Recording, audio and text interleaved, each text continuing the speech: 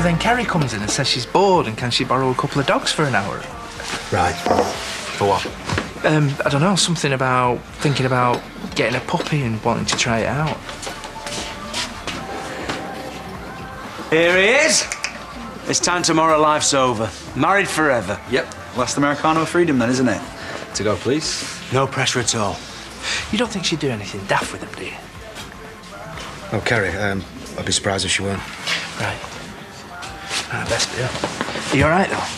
You still treating him mean to keep him keen? I'm fine, Paddy. Because, you know, I'm always up for a beer. 24-7. You know, if you need me. Right. Okay. Rude.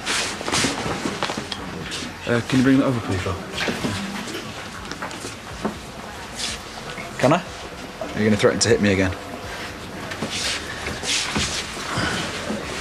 Meet me at the barn at four.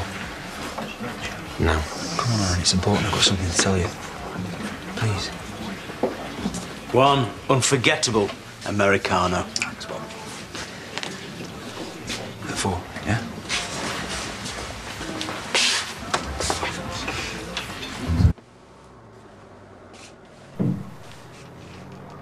Who is it? It's all of me.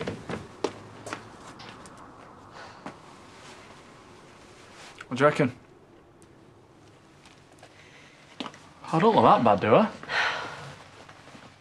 Oh, I've just missed you so much. Does this mean you're coming home? Well, I didn't expect it to be like this. I wanted to be at Robert's wedding together. As a couple. I know. Me too. Look. If you've got anything to say, tell me now. If not, we've got to put it past us and get on with putting our marriage back on track. I haven't anything to say. You sure? It's going to be a long slog getting the farm up and running. But we'll get there. You and me.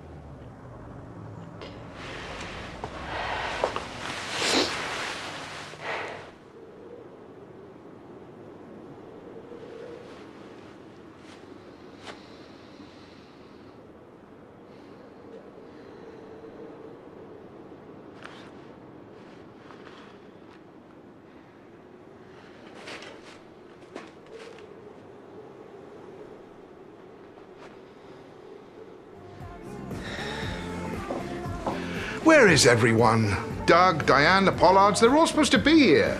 Give him chance. We've got five minutes till half past. Free booze. Believe me, it'll be packed. Straight to voicemail. Ah, keeps it to myself a bit longer. Don't even want a drink.